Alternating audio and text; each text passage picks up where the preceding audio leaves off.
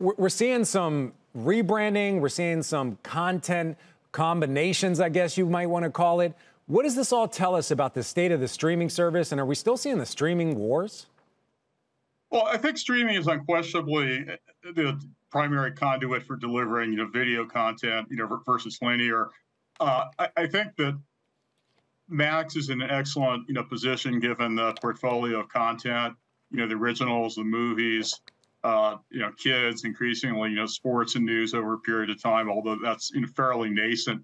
So yes, there is a streaming war, but I think that they're coming from a very good position given the uh, brand name of uh, of HBO and the other the other content that they have.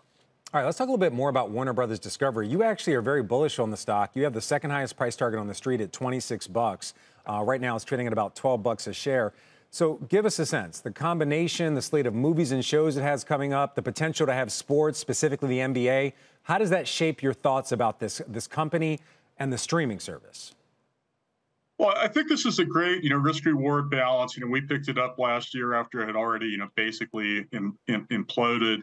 You know, I think you've got the protection of a double digit, you know, free cash flow yield, you know, lots of progress on the cost control uh, being orchestrated and, and, really one of the premier bouquets of content in Hollywood, both in terms of the uh, libraries and in terms of the active uh, production pipeline. Uh, you know, clearly, you know, hits, you know, The Last of Us, uh, you know, House of the Dragon, et cetera.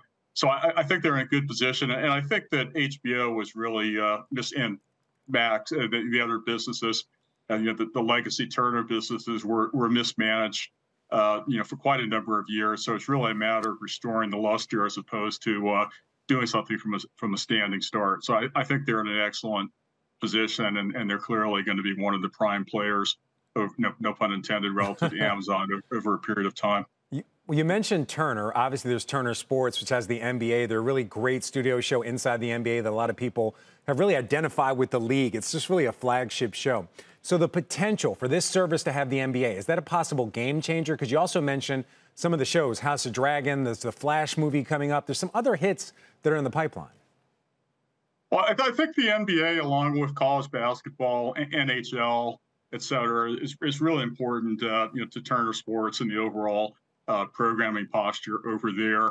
Uh, Zaslav, the CEO, has gone back and forth on on the absolute intent to have, have the HBO have uh, have the NBA, but I think it's incredibly important. You've seen how good the the, the games this year, the the conference finals have, have been, and there's a really close relationship between uh, uh, Turner and and to say, and NBA TV. I mean, they're housed in the same studio. Clearly, you know, the personality. I mean, somebody could post, let's say, Charlie Barkley and Ernie and all that.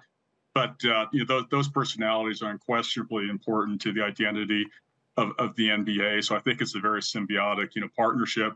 You know, clearly you've got some big wallets out there. You know, I think what really saves you is kind of the dissolution of, of, of the some of the RSNs and po- the possibility of having just more games available.